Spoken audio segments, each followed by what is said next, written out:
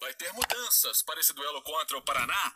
A gente chama a atenção para a apresentação do Natan, jogador de 22 anos, se diz um camisa 10 autêntico, atleta que estava no Chelsea, na verdade, rodou, passou pelo Vitesse da Holanda, o Amiens da França, também o Belenenses de Portugal, chega ao Atlético sem custo, com o Atlético pagando o salário do jogador. Não veio com passe fixado, tem essa oportunidade de vestir a camisa 23. Hoje foi apresentado pelo Alexandre Galo, vai utilizar a camisa 23. E ele fala aqui na turma do bate-bola como encara essa oportunidade e também a passagem pela Europa.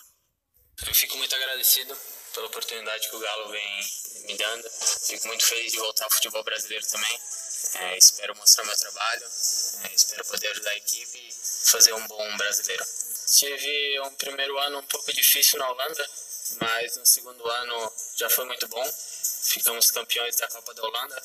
É claro que quando um jogador chega novo na Europa é um pouco mais difícil a adaptação. Mas eu, eu vinha trabalhando forte, vinha ajudando as equipes onde eu passei. Estou muito feliz. Agradeço primeiramente a Deus também, minha família, meus amigos e eu tenho certeza que bons frutos virão. O Natão, em termos de expectativa né, de começar a jogar, como é que está a parte física? Acredito que a vontade é logo de colocar chuteiro para o jogo. Como é que está a sua situação? É, a vontade eu tenho muita.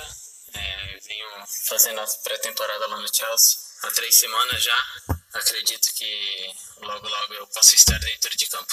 Eu até queria que você falasse aí um pouco das suas características do seu futebol e se você realmente vai ser aquele camisa 10, aquele cara que chega para assumir articulação de no meio de campo do Atlético. As minhas características são: eu gosto de jogar no meio, gosto de jogar de 10. Claro que eu sei que eu tenho que ajudar os volantes. Aprendi muito com o Galo isso na seleção.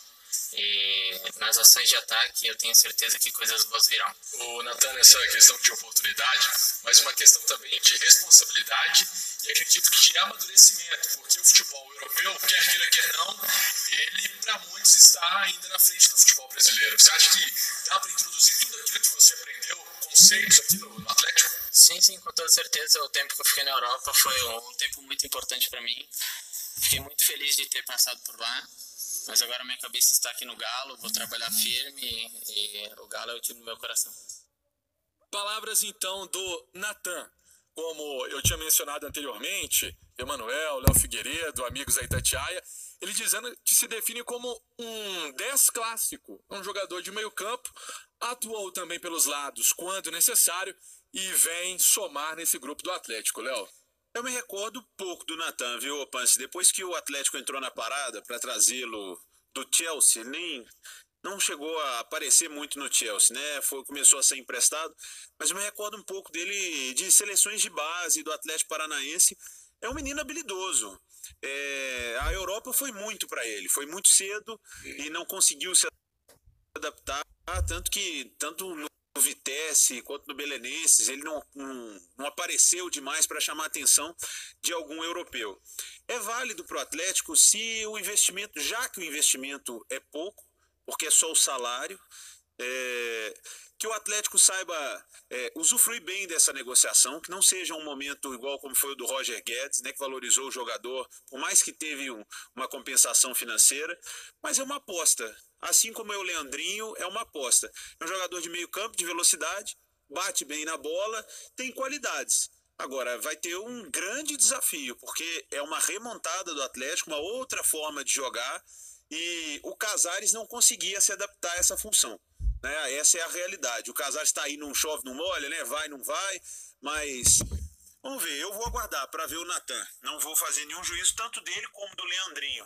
Mas acho que são válidas as apostas, já que o Atlético não tem dinheiro para contratar, está tentando de alguma forma trazer mais qualidade ao time. Vamos ver, são meninos que precisam de espaço, eles vão ter. O que chamou minha, a minha atenção, Léo e, e Emanuel, foi ele dizendo que estava fazendo atividade física, estava treinando normalmente, então acredito que não vai ser, não vai demorar para se colocar à disposição do técnico Thiago Largue.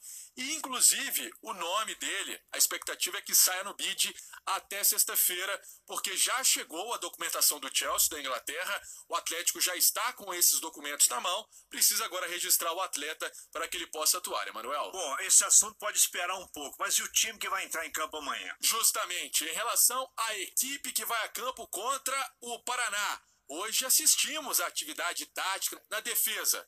Leonardo Silva, ele que foi o capitão da Libertadores 2013, é o capitão do Atlético, levantou há cinco anos naquele jogo todo emocionante contra o Olímpia, o 1 a 0 depois 2 a 0 que ele marcou, depois nos pênaltis a conquista do Galo. Ele volta à defesa no lugar do Juninho. O que a gente observou foi isso, vai compor a defesa ao lado do Gabriel. Outra mudança. São duas mudanças, na verdade, no meio-campo. E aí tem a ver com suspensão. O Luan tomou o terceiro cartão amarelo. Terans, uruguaio Terans, assume uma vaga e o Galdesani, que foi expulso da partida contra o Palmeiras, vai dar lugar a Tomás Andrade. E aí, Léo Figueiredo, Emanuel, gostaram das opções? É, muda um pouco o estilo do time, né? O Galdesani é um volante e que fez um bom jogo contra o Palmeiras, o Tomás Andrade.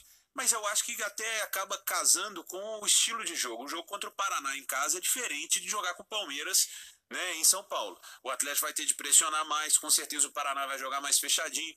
Então pode vir a funcionar aí ter o Tomás Andrade. Eu só espero que o Atlético siga evoluindo, porque perdeu do Palmeiras, mas melhorou. Isso é uma verdade. Vai ter que jogar melhor amanhã e o Thiago Largue reconstruindo o time, não deixando a turma da frente ficar tão distante, né? Porque a queda do Galo nessas duas primeiras rodadas pós-Copa já foi bem grande. Lembrando que em 2013 quem levantou a taça foi o Hever, mas o Leonardo Silva também participou daquele grupo e com uma participação e tanto, principalmente na final, por toda a experiência que ele representa. Sendo assim, o que a gente pode traçar? O Vitor foi poupado da atividade hoje, fez um trabalho em separado por causa de uma pancada no tornozelo. Não deve ser problema. Então, time com Vitor, Patrick, Léo Silva, Gabriel e Fábio Santos, Zé Wellison, Elias, Tomás Andrade, Xará, Terans e Ricardo Oliveira. Essa a provável formação do Atlético para o duelo contra o Paraná. Uma informação também aqui dentro da turma do bate-bola, já que o assunto é futebol, vamos falar de uma dobradinha que é um clássico, vivo e ofertas imperdíveis. Escuta só essa. Quanto time do Campeonato Brasileiro e aqueles que estão mais embaixo. Quando você pega um time que está lutando contra o rebaixamento, no caso do Paraná, aí ele se transforma. Daí a dificuldade o Atlético precisa colocar em campo também muito o espírito, a cabeça, porque as duas derrotas queimaram aquela gordura que o Atlético tinha mais na tabela do Campeonato Brasileiro. Agora é recuperar esses pontos com as duas próximas partidas em casa. É esse o dever de casa que o Atlético tem que fazer a começar amanhã pelo jogo no Independência. As modificações que você anunciou aí são modificações óbvias, não, não há como, não, não, existe, não existem outras opções para o Thiago Larga. E outra coisa, amanhã o trabalho dele vai ser bem bem menor, sabe por quê? Ele não vai ter que substituir o, Leandro, o Luan no segundo tempo. Então é, é, ele não vai ter tanto trabalho. Porque o Luan não vai sair amanhã porque está suspenso. O Luan, que não joga, tomou o terceiro cartão amarelo naquele lance da comemoração com um pouco a mais de tempo, porque hoje a CBF não gosta que comemore. Oi, Manuel, são situações importantes da gente levantar aqui dentro da turma do bate-bola. Começar sobre o Casares equatoriano Casares. O diretor Alexandre Galo participou da apresentação do Natan e ele explicou: o prazo é até amanhã, é o deadline, é o ultimato para que o Shabab Al-Ali do Bay Club dos Emirados Árabes se pronuncie, assine o contrato para que o Casares seja transferido. Caso isso não aconteça, o Casares vai ser reintegrado ao elenco. Trabalhou hoje normalmente, fez os trabalhos em campo, mas ele não está sendo utilizado propriamente dito nos jogos. Então, caso isso não aconteça, a semana que vem, outro assunto importante com respeito em relação à situação de renovação de jogador. O Adilson, o contrato dele se encerra em fevereiro de 2019. O Atlético vai sentar com o procurador, com o empresário do atleta, o Cristiano Mânica, e vai conversar sobre essa renovação. Já, pelo jeito, a situação está bem adiantada, já está bem próxima de um acordo e o Adilson deve permanecer no Atlético, jogador que ganhou muito espaço com o Thiago Lac. Só uma informação, Emanuel.